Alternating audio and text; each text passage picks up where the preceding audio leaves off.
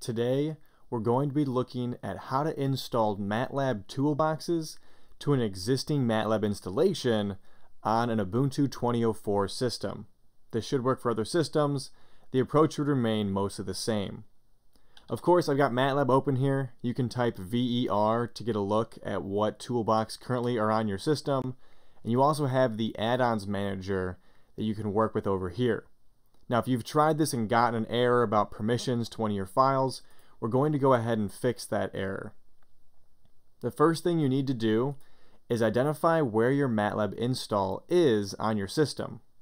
It's likely going to be somewhere like this file path. User, local, MATLAB, and then the version of whatever you installed. So if you're going from home, go ahead and do cd, user, local, and then MATLAB and then take a look at whatever install you have. Here I'm using R2021B. You don't need to be in that folder, but you do need to run these two commands down here. Replace this path with the path to your MATLAB installation, likely changing whatever the final version of MATLAB you have on your system.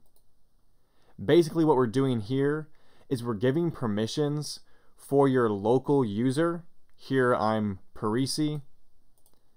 You need to give that root access to the MATLAB folder where the installation is stored.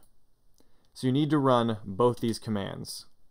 This first one and then this second one, both with the updated file location to where your MATLAB install is. After you run these, you should be fine go over to your add-ons, click Get Add-ons, and then from here, search the toolbox you're looking for, and click Install. You should be able to follow the same process as you normally would to install packages on, say, a Windows or Mac system. That's basically it for this video.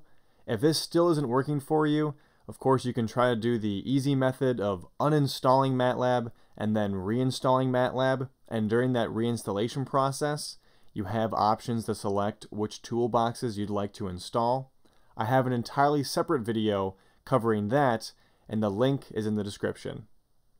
Thank you for watching, and I wish you all the best with your MATLAB install on Ubuntu. Cheers and have a great day.